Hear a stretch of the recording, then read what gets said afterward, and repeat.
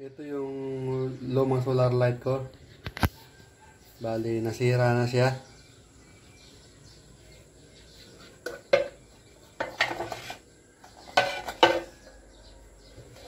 Napasok siya ng moisture sa loob kaya nasira yung mga ilaw.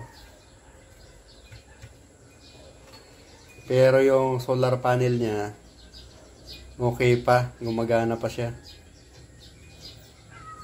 Gagawin nating charger ng power bank. Ito yung panel ng solar light na 40 watts.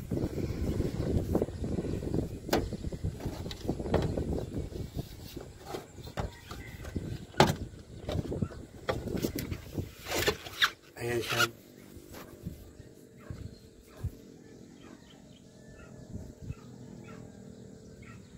Sixteen watts yung maximum power niya. 6 volts saka 2.5 ampere.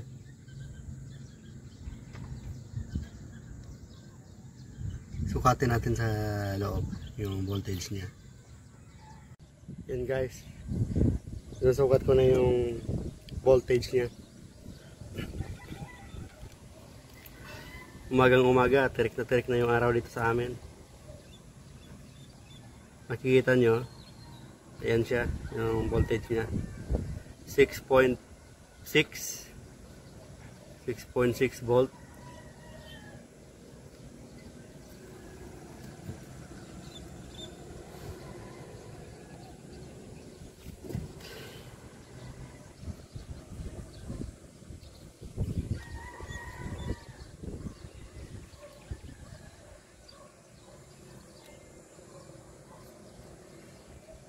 Seven AM pala ngayon.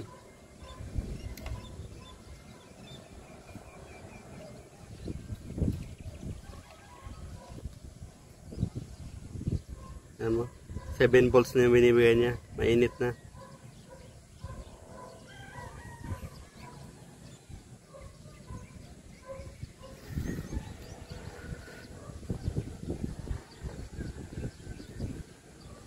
Tamang tama siya guys pang charge ng yung power bank. 5 volts. Okay na siya. Ngayon pagdating doon sa baba mga abutin siya ng 6 volts may voltage loss pa siya kaya tamang tama lang siya guys tara tingnan natin kung paano ito convert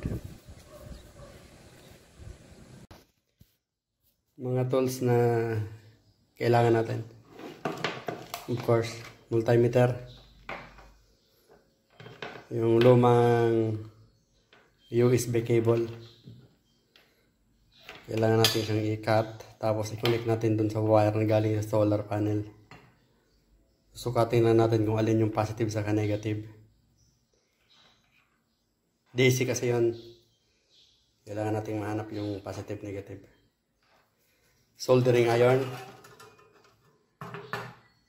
para sa connection niya saka electrical tape. Mas maganda sana yung heat shrink. Kaso wala ako nun. Ito lang yung available na pwede kong gamitin. Okay rin to guys. Saka pala soldering paste. Para kapit na kapit yung solder natin. Saka yung solder mismo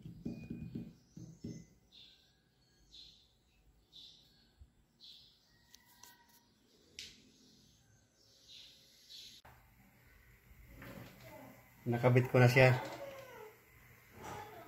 Yung pula yan yung positive. Ingat, ingatan lang natin magdidikit kasi live na to eh. Magdidikit sa positive yung negative. Mag short circuit siya. Tingnan nyo bumaba yung voltage. Nasa 6.48 volts na siya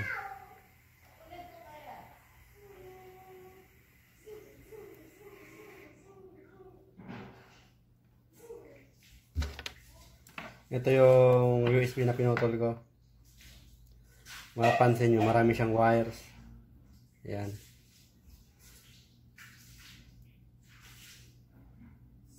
Yung pula, Yan yung positive, saka yung itim yun yung negative. Ito na yung sinolder ko dito. I-check ulit natin.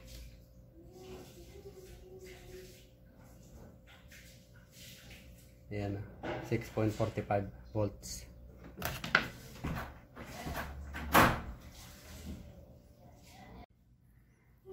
Lagyan na natin siya ng electrical tape.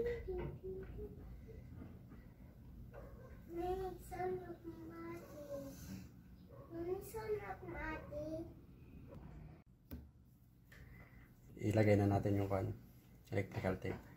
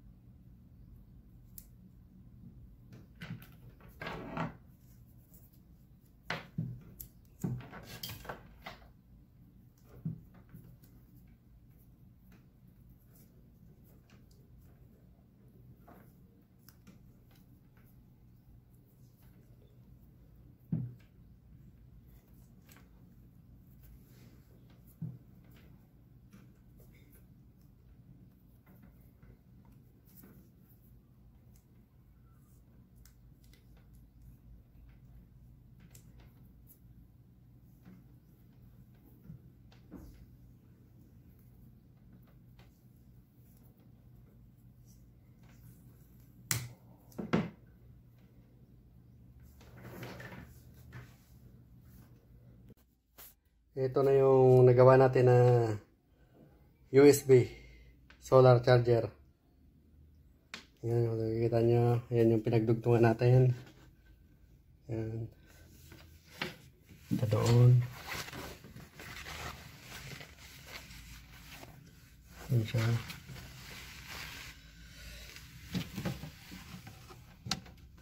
Palabas doon.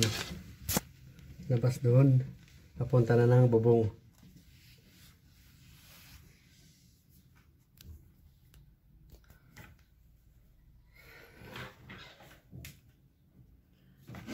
Subukan natin siya dito sa electric pan na USB charge charger. Yan. Subukan natin. Ayun, charging point niya. Yung battery niya, ito. Lithium.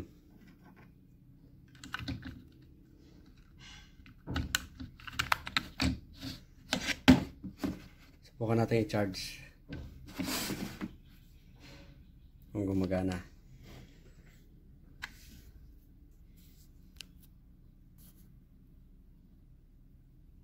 Ayan, nakasaksak na. Kikita nyo siya.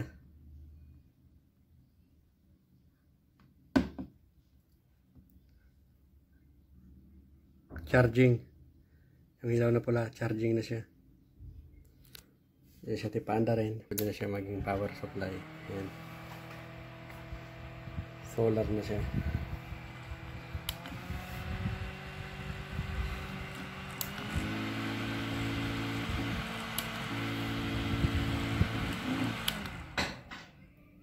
Charging siya.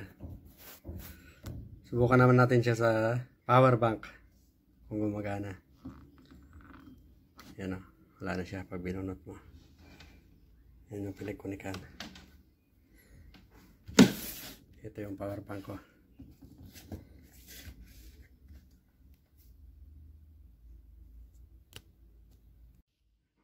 Connected siya sa power bank.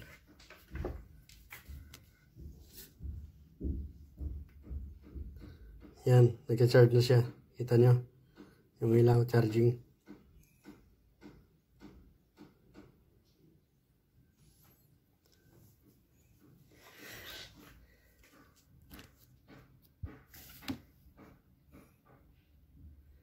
Yan lang guys. Pa-subscribe na lang. Abangan nyo ang susunod kong video.